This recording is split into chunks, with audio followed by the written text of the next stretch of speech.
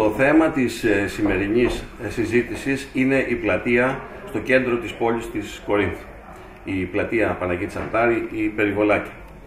Επειδή έχουν ακουστεί τελευταία πολλά πράγματα, πριν συζητήσουμε με τον κύριο Τσοτσόνη για το μνημείο, θα ήθελα να σας ενημερώσω για το πού βρισκόμαστε σήμερα, όσον αφορά την κατασκευή της πλατείας.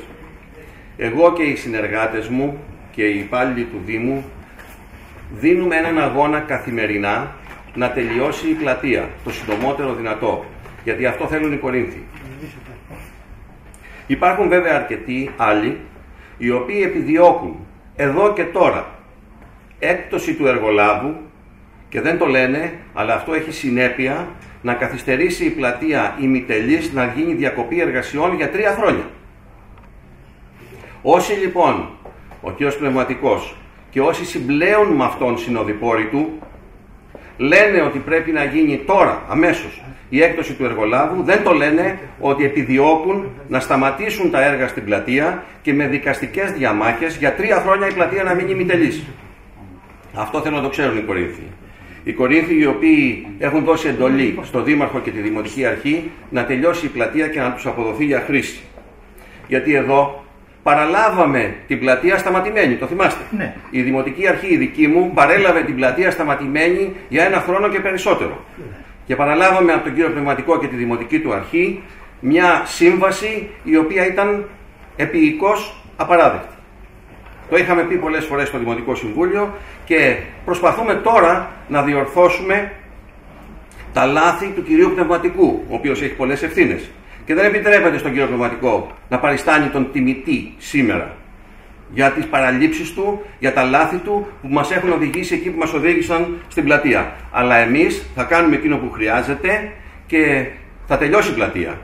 Το σχέδιο του κύριου Πνευματικού να το ξέρουν οι Κορίνθοι και όσων είναι συνοδοιπόροι του και συμπλέουν μαζί του είναι να μην πληρωθεί ο εργολάβος για έργα τα οποία έχει κάνει με τις καταγγελίες και τις προσφυγές που γίνονται η οικονομική υπηρεσία επηρεάζεται και δεν πληρώνει έργα τα οποία έχουν γίνει.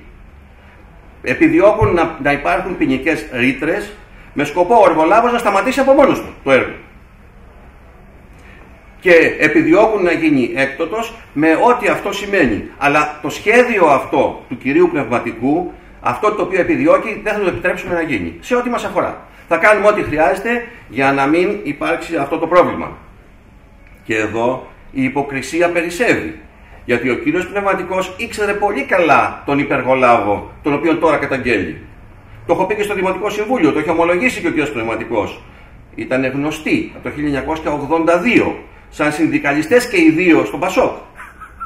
Το ήξερε λοιπόν ποιος ήταν ο υπεργολάβος και όφιλε να ξέρει τη σχέση που υπήρχε με τον εργολάβο.